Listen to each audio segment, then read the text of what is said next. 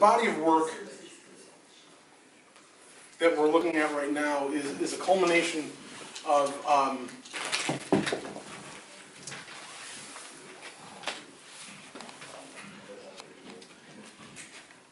many years of uh, contemplation um, on, on, uh, on the idea of um, conversation, uh, on the um, idea of redemption, um, on the idea of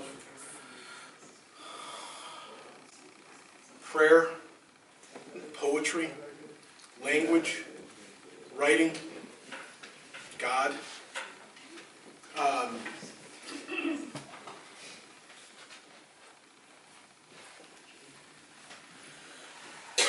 a couple of a couple of things before I before I keep going. Um, you'll notice sooner than later that uh, I pause um, a lot uh, and and and will um, take long periods of time before I restart. It's it's not because uh, it's not because I'm scared. It's not because it's because I, I I'm trying desperately to find to find the words um, to articulate it, which is exactly where this comes from. Um, the idea of not being not being able to communicate, uh, not being able to express the thing that I want to say um, in a way that others will understand, and you haven't. It's deeply frustrating.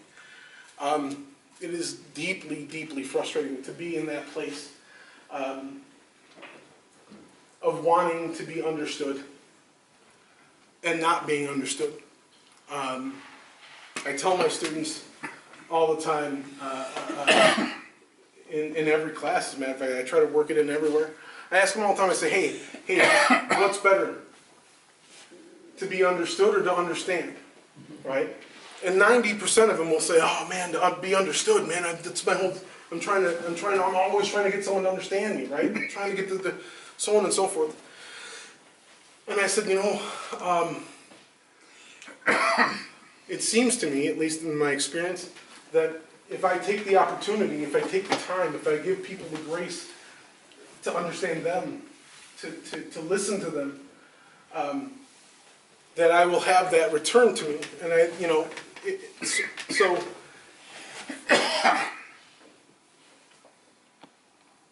The work, um, I often describe them as, as, um, letters, poems, uh, um, conversations um, with the other. Um,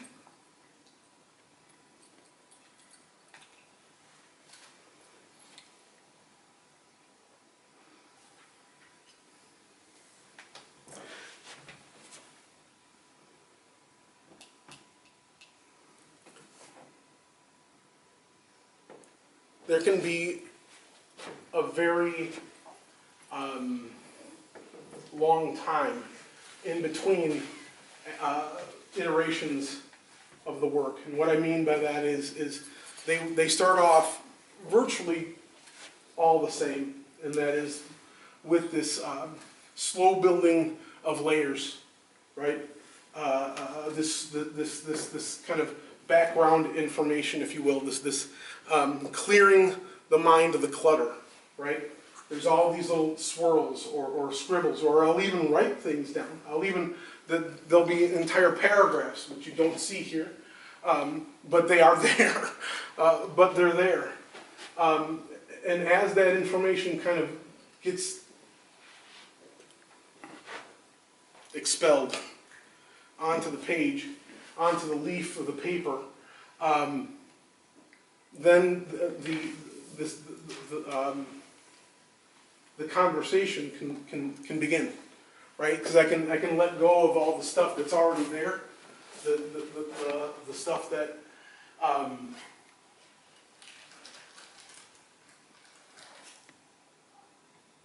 that always gets in the way, right? The, that I leave the coffee pot on, I have to put grades in tomorrow. I was ten minutes late and my boss yelled at me. Like, all the stuff that's in there, right, the- that, that stuff, the stuff that is mundane and, and while important on some level, but doesn't actually allow for, for, for me, or for you for that matter, um, to listen, to hear, to hear correctly, to hear, to, to hear, um, with, with the heart, right? And, um, the conversations are not always pretty. The conversations are not always, um, the most, um, beautiful. I tell, I, I tell people all the time, almost apologetically, um, I almost, I'm gonna apologize now. Um, I apologize for the non-prettiness of it, right? The, um, I don't wanna get,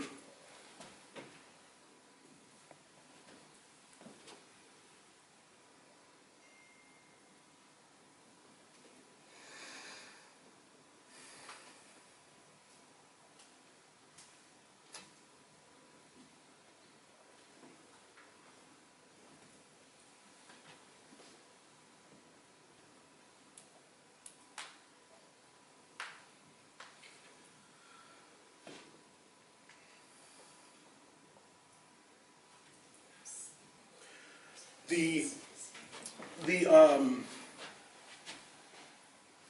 sometimes jarringness of it, or the, what seems to be, um,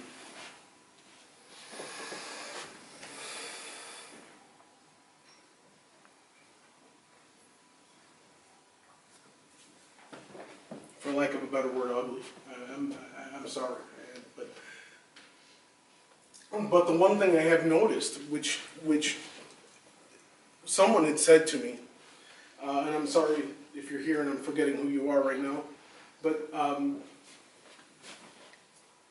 that they look very different together. The conversation becomes clear. That the individual works may not necessarily be um, something that you would have in your house. Uh, it may not be the thing that you would say, "Oh my God, that's gorgeous! I, you know, I must have this this thing of beauty." Um, but to see them together, to see the the progression, to, to hear that that conversation, to hear that conversation.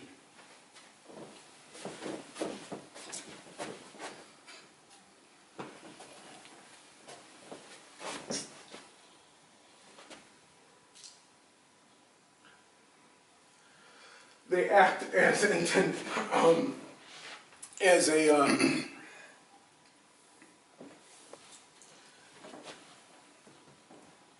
as an invitation to you uh, to look at them uh, and to see them not necessarily as the surface, not necessarily as the surface, but to look into them,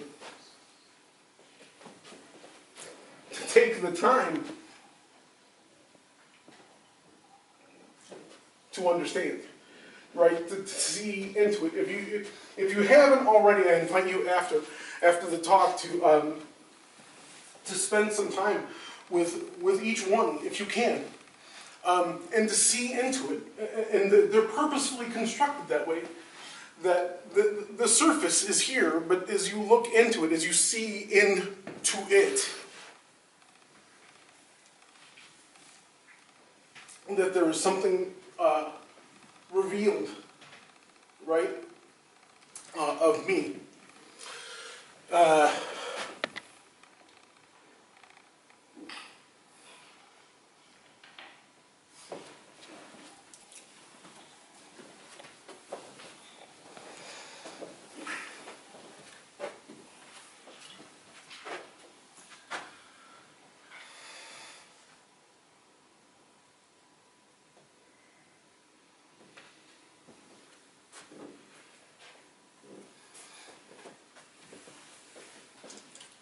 the movement of the hand, the, the, the ability to write, to communicate, um, is universal. We all practice it in some form or fashion. again, I see them as, as a written document. I, I don't even call them paintings. I, I don't really call them drawings. I refer to them as being written, much in the same way that um, Chinese uh, uh, scroll paintings are, are, are not actually looked at. The, the, the correct terminology is to be read. You read the painting, you read the mark. Um, the paper in and of itself, again, it's purposeful. The, the paper is, is fragile. Paper, paper is a living thing. It breathes, it absorbs, it takes on, it tears.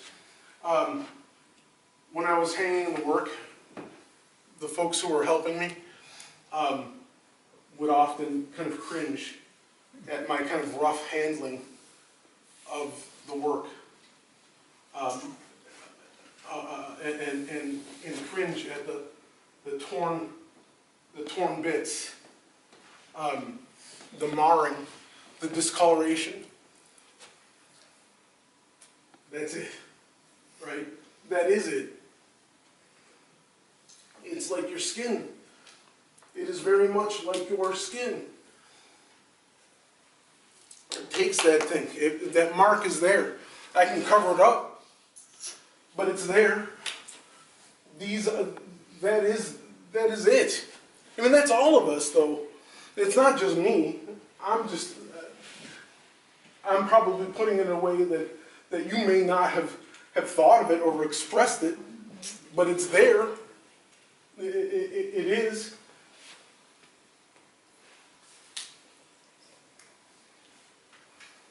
Paper breathes. And I can cover it up. But those marks are there. The way the work develops again is I, if I can circle back a little bit, once I've actually started to kind of get that kind of uh, ground onto it, what I'll eventually do is start to put slow layers of color. Um, and after I've applied that color while it is still wet, while that, while that pigment is still wet, I will take that and I will wash it. I'll put it into the water and I'll scrub it. To remove that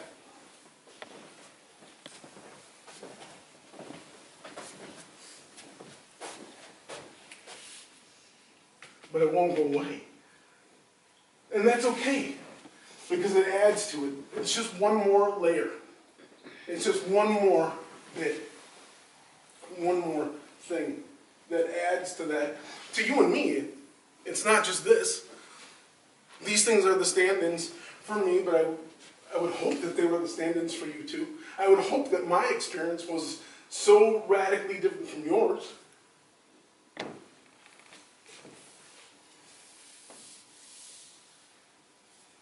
And then I'll go on, and I'll repeat that process as many times as it takes. And sometimes there'll be long breaks in between. There could be weeks, months, even a year or more, where that conversation, that conversation, that bit stops. The one back there, I thought wasn't finished. I'd rolled it up, put it away, I hadn't worked on it, I hadn't worked on it, and I brought it here specifically because I was gonna work on it more, I was gonna finish it, it was gonna be done by today.